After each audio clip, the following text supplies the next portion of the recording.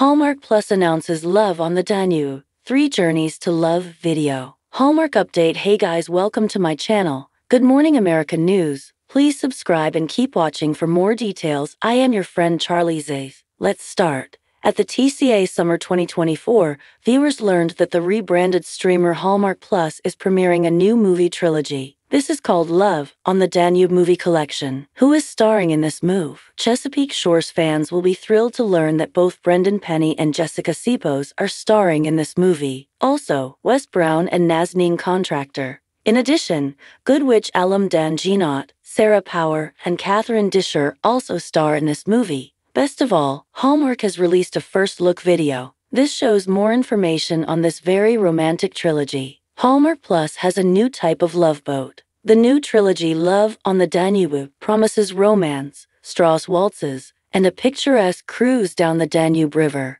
Can there be anything more romantic? The rebranded streaming service has released the first look video that teases this trilogy. Like the upcoming trilogy Groomsmen, this also looks like it is from the male perspective. That is because it starts out with Wes Brown saying to a guy next to him, You never know when you might meet someone. The next clip shows him smiling and chatting with Nazneen Contractor's character, with Johann Strauss' iconic song, The Blue Danube, playing in the background. Next, Jessica Sipos and Dan Jeannotte are shown walking and talking. She says, All you need is a ticket and an open heart. Later, she is shown talking to someone from the ship who asks, How was the palace? Jessica's character replied, It was breathtaking. Everything I imagined. In another scene, Brendan Penny is shown saying, That precise moment that you start to fall in love. Is he talking to Sarah Powers? Lastly, Catherine Disher is sitting, talking to a friend. She says, It's opened my eyes to the possibility of love. This is just a teaser, so it is hard to know. Although the clip shows dancing to the song,